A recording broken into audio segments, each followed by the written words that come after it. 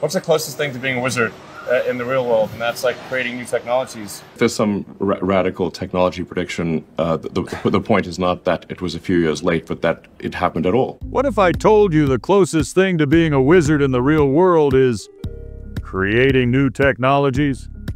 Imagine a wheelchair that drives itself, adapts to any terrain, and is powered by artificial intelligence. Sounds like science fiction, right? Well, what if I told you it might be here sooner than you think? Introducing the 2025 Tesla wheelchair, potentially the game changer in personal mobility. But wait, is this real? Is Tesla actually making a wheelchair, or is it just some wild rumor? Let's break it down.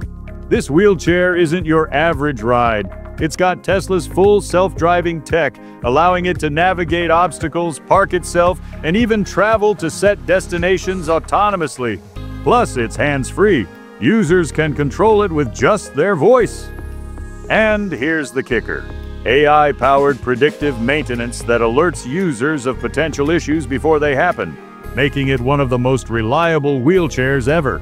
The 2025 Tesla wheelchair can go 8 to 12 miles per hour, that's two to three times faster than traditional models, perfect for long-distance commutes or moving through crowded spaces with ease. And it's light, about half the weight of traditional power wheelchairs. Easy to transport and maneuver.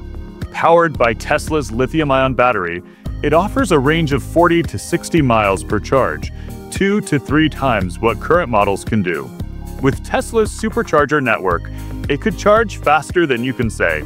Game changer. While Tesla hasn't officially confirmed the wheelchair's release, rumors and leaked patents are fueling the hype. Speculation points to a 2025 unveiling, with production possibly starting in 2026. But as always with Tesla, they're keeping it under wraps. Could this be the future of mobility?